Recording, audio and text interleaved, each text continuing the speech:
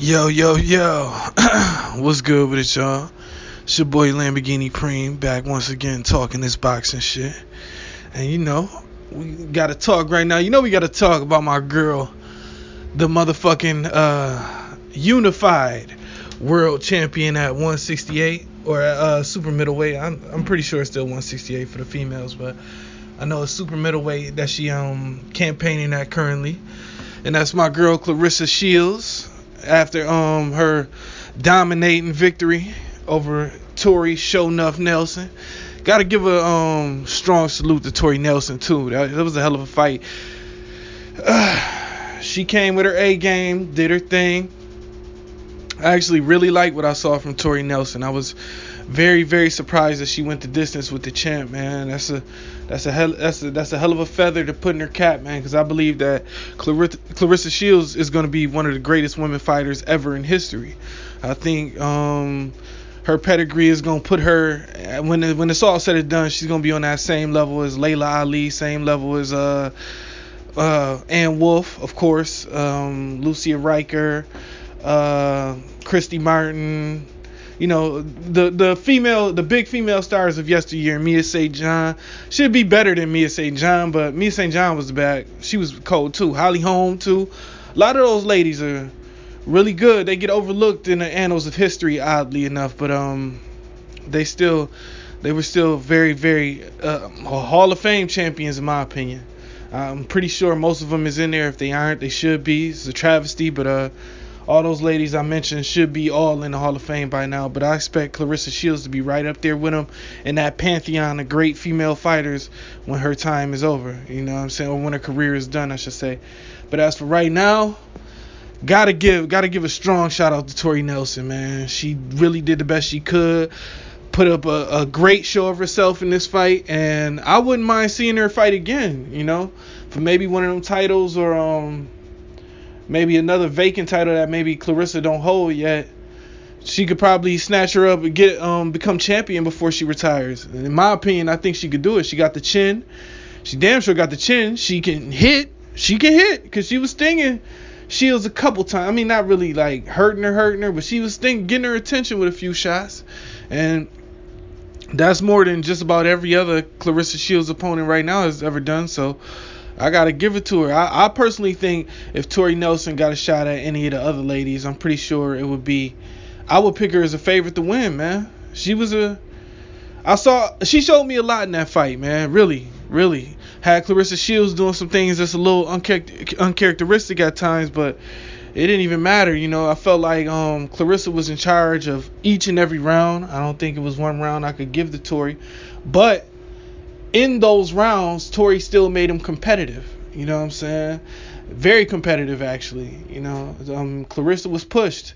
I don't think she was pushed to like the brink of her ability and nothing crazy like that. Like this wasn't a war war, but this was an in the trenches fight. You know, this wasn't quite the Franchon Crews fight. Hold on, let me rephrase that because uh, Tori Nelson. Franchon Crews had a good showing of herself too in a very similar fashion to the way Tori Nelson did. So I gotta shout out both of those women. They really look good. Well, they didn't really look good, but um, they look good against the champ. You know what I'm saying? If I use Claressa Shields as the measuring stick for every woman in that division, and if you're gonna use that as a very very high bar for other ladies to meet, and I feel like even if even the fighters that come up just short of that bar, I feel like they still are good enough to become world champions absent Claressa Shields, you know, having all the belts. And right now, I think she only got two, so it's two more floating out there. I would love to see Tori Nelson or Franchon Crews go ahead and get another title shot from maybe one of the other title holders and um see what they could do. Maybe even get themselves a rematch. I know Tori Nelson says she ready to let it go. You know, she really only got a few more fights left, but I really would like to see her fight again. I would really like to see her in another world title fight you know what I'm saying, against somebody else because honestly, if she fights Claressa Shields again, it's gonna be worse this time. Claressa, done, you know, got the lay of the land, you know, measured her, if you will. And now that she has all the answers to the test, it's just gonna be easier to pass. So, you know how that go. And um what's next for Claressa? she say, or at least in the in ring uh interview, she's ready to fight Christina Hammer and Christina Hammer was out ringside, so it looks like that fight is being built. I think that's gonna be a hell of a fight. I still got Claressa Shields to win, dominating. But I will say this. Christina Hammer has a very nice jab. Her fundamentals are sharp, and that's gonna be a hell of a fight. And um, from what I understand, Christina Hammer is actually a weight class below where Claressa Shields is. So Claressa Shields had to shed off some. Uh, she had to take off some of the, the pounds, which means that we don't necessarily know how her how that's gonna affect her power, how it's gonna affect her tank. You know what I mean? Her wind and all these different things. Because when you um when you go down in weight it's not it's not really the same. Like when you go up in weight, it, it affects you negatively as well, but not quite as much as going down. When it, it seems like when fighters go down in weight, they do seem to lose something. Some fighters can do it and it's not a problem. You know what I mean?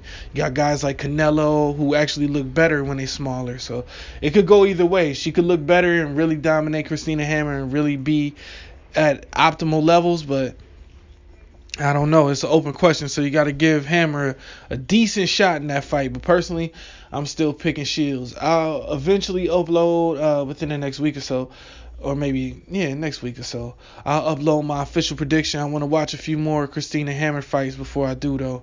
You know what I'm saying? See if she got anything possibly that can, you know, trouble claressa Right now, from the things that I've seen from Hammer, I've seen a couple of her most recent fights, and she looked pretty good, but I don't think she looked good enough to show me that, you know, she can handle Claressa like that. you know what I mean? That's gonna be a hell of a that's a hell of a task, man. It's a, it's a very tall order. But uh, yeah, man. Congratulations to Claressa Shields. She's still the champion at 168 Unified. Shout out to Tori Shonuff Nelson. You made a very good you put out a very good account of yourself and I'd love to see you fight again. And um salute to Christina Hammer for showing up to the fight and actually being willing to fight Claressa Shields because the way Claressa Shields is wiping out these girls right now, she looking a lot like a Errol Spence. you know what I mean? A female Errol Spence of her division. You know, I could see girls being very reticent to fight her, but it's gonna come to a point very soon where it's gonna make you so much money to fight Claressa Shields those girls are gonna have to fight her whether they want to or not. You know, that's just what it is. She's already a big star in my opinion, and I feel like her star is only rising. And you know, she's she's a historic champion. You know. So I mean, if I'm a fighter, a female fighter anywhere near her division, that's what I'm training for. But it is what it is, man. She gonna be champion in my opinion for a very long time, man. I'm looking forward to witnessing her reign. So once again, shout out to Claressa Shields, shout out to Tori Shonuff Nelson, and if you fuck with me, make sure you head over to my official site, HustleGameBoss.com, and check out my all new album.